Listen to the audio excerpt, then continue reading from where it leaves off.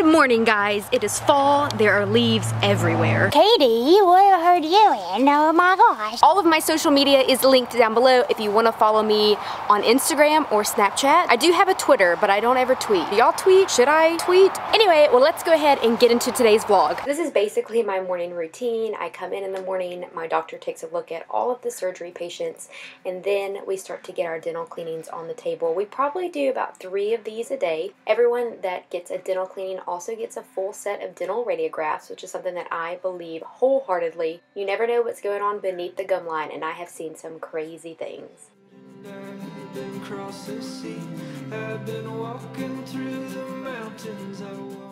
I previously made a video of all the things that go into a professional dental cleaning that I will have linked down below if you want to watch the procedure from start to finish.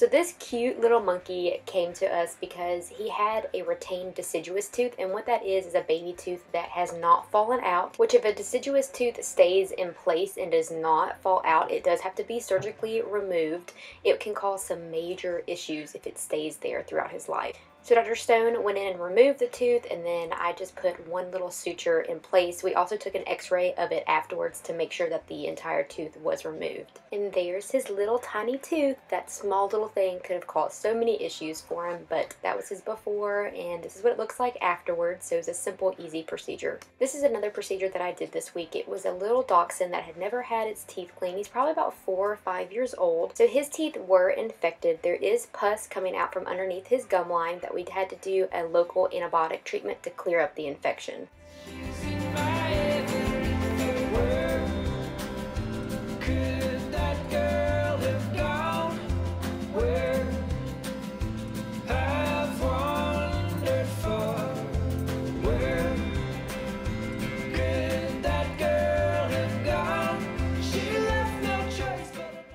So this is Khaleesi. If y'all follow me on Instagram, y'all should recognize her because I do post her on my Instagram quite often because she's super cute. She came in for her third set of puppy vaccines and she does have an Instagram of her own that I'll have linked down below.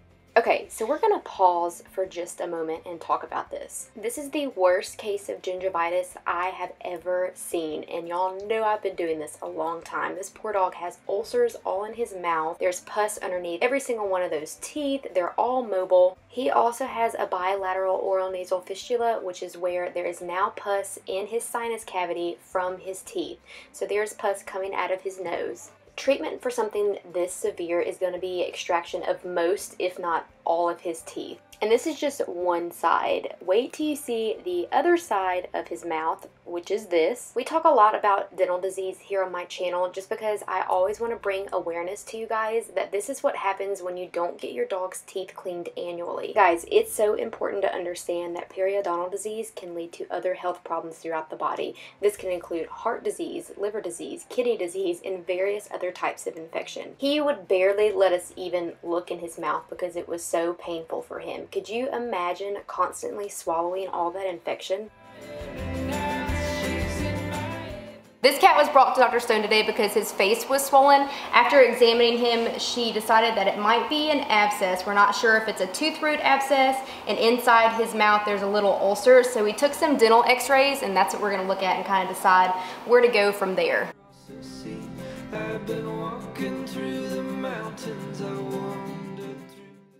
The x-ray of his lower jaw actually ended up looking really good, so there was no damage to his mandible. So what Dr. Stone decided to do was just drain the abscess.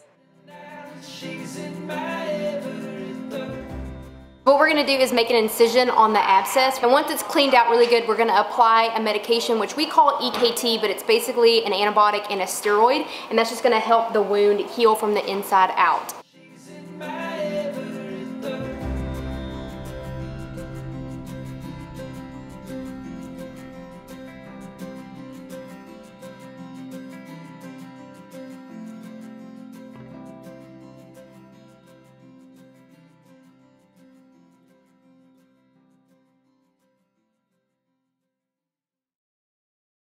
Hopefully this will clear up the abscess for him. If not, we would bring him back and biopsy it and send it off to histopath. Thank you guys so much for watching. If you liked this video, don't forget to subscribe to my channel and I'll see you in my next one. Bye!